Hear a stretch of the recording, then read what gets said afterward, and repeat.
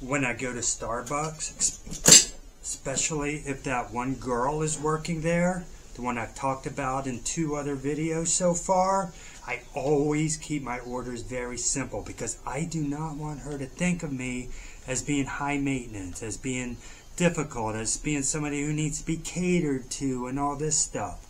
I want her to think of me as a simple person, not not you know simple-minded, but easygoing, easy to please, easy easy to yeah, easy to to please. I don't know a better way to put it. So, I never order anything difficult. I never order the fancy stuff.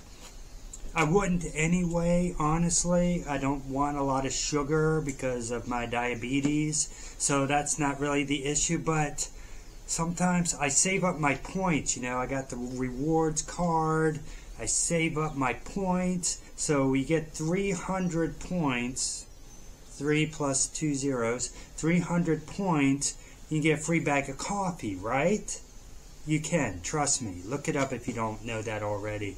So, but I, I don't I don't go to that store to get the I don't go there to get it. I go down to the other store. There's two Starbucks in the town.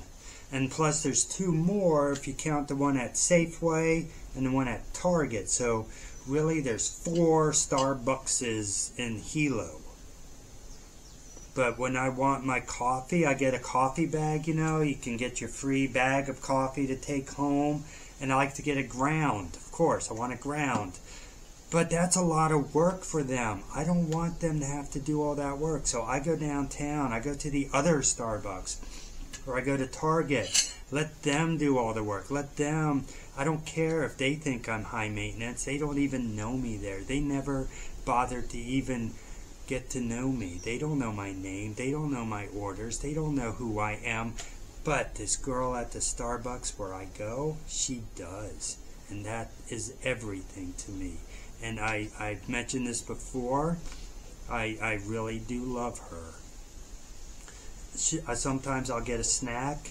I don't get snacks often because, like I say, I'm, I monitor my blood sugar because of the diabetes. So I don't get snacks. Maybe once a week I'll get a snack if my blood sugar's doing okay.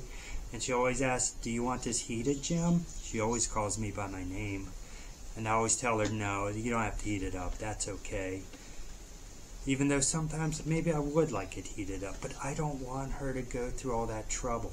Because when you love somebody the way I love her, you don't put them through all that extra trouble. You make their life simple. And she said that to me once. She said, you you're a very easy customer, Jim. And I and I said to her, I like being the easy part of your day. And and that made her smile. Today I went in there, but somebody else there's some new girl working the register and she didn't know my order. So I had to say Grande Pike Place, no sugar, no cream. But my girl was there. She was doing work in the back, fixing other people's drinks, and she just sort of rolled her eyes. She said, Hi, Jim, because we always say hi to each other, whether she's at the register or not. And she just kind of rolled her eyes and shook her head, like, you don't know. If you're going to work at Starbucks, girl, you got a lot to learn. That was kind of what she conveyed.